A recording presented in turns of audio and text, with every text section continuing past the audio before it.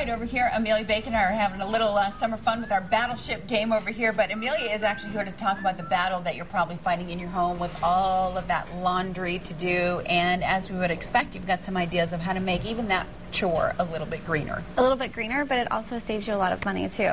Um, because doing green laundry is a lot, a lot, about conservation of water and energy. So mm -hmm. you should see a little bit of a drop in your energy and your water bills as well. Um, and I have a couple of tips for washing and a couple for drying. Okay. Uh, my number one tip for washing is to use some sort of biodegradable detergent. Mm -hmm.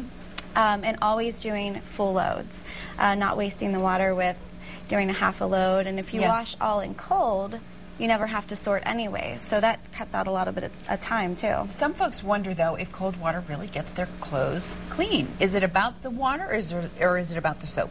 I think it's a little bit about the soap, a little bit about the water, a mm -hmm. little bit about your actual washing machine as well. Right. So, you know, I, I haven't had any problems with washing on cold. Everything seems to come out.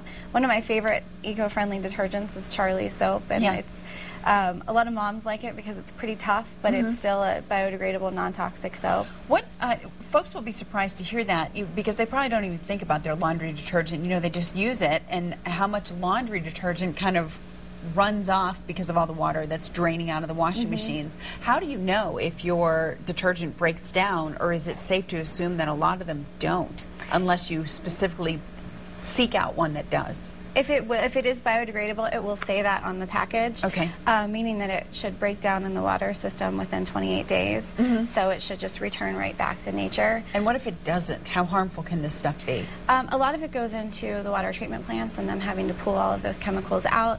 Some of it can seep into the groundwaters and into the waterways as well. Mm -hmm. And of mm-hmm. course, a lot of them are really chemical heavy, so that's detrimental to our marine life.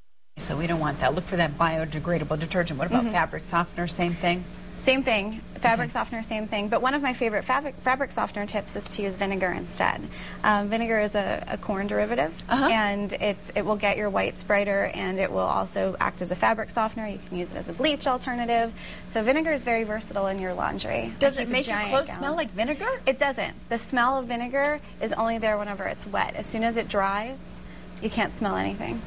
I'm going to totally try that. You should. So you're it telling me fantastic. I could pour vinegar in the little ball that I have mm -hmm. right now? Get out of town. You can put it in your little bleach holder. You can put it in the uh, softener one. You can yeah. use it as a pre-wash. And it's totally I put it in cheaper. all three. It is. It's much cheaper than using fabric softener, and it's a green product as well. Wow. All right, what else do you have? I'm already I'm already stunned and amazed. So you could leave at this point if you wanted to, but if you want to stick around, what do you have? Advice we'll do you have switch over the to the dryer. Yeah. So for the dryer, um, uh, you know, a lot of people like to put the fabric softener sheets in there, and yes. I don't know if it's for the smell or because they think they actually need them for the static. Uh, mm. But the static is a direct result of over drying.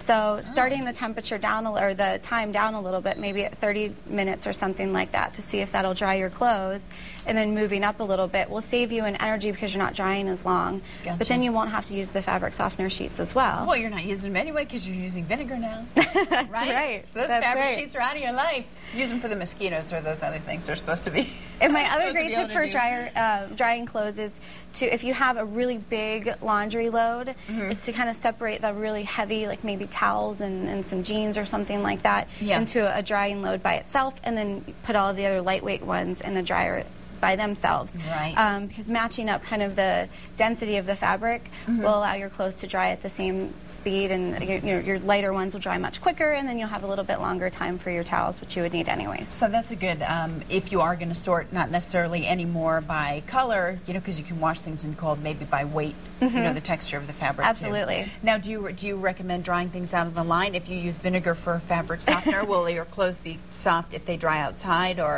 you, you should absolutely take advantage of drying outside, but it's been so humid that I'm not sure how quick it'll right. dry That will days. take six days, right? Mm -hmm, okay. Absolutely. If there's something you don't need until November, go ahead and hang outside.